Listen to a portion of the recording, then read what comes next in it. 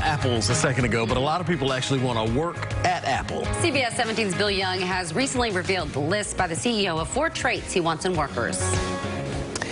There is no such thing as a stupid question. Tim Cook calls it curiosity and says it can be crucial in sharing ideas and expertise. Another one of the four traits he says is important in new employees. Cook shared this information while speaking at a university in Italy. Now, even if you don't aspire to work for Apple, these traits are applicable for any employer. Another one, creativity. To Cook, this means looking at something from a different standpoint, not getting caught up in how something has always been done. And finally, collaboration.